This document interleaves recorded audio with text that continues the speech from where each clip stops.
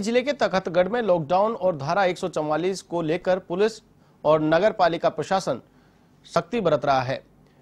Police प्रशासन ने तखतगढ़ नगर से जोड़ने वाले सभी रास्तों को सील कर दिया है। साथ ही जालोर सीमा पर पुलिस चौकी लगा दी गई है।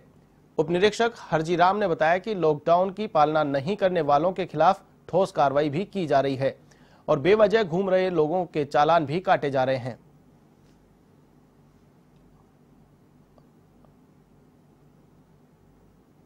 तखतगढ़ में पूर्व में भी पूर्ण रूप से लॉकडाउन की पालना करवाई जा रही है।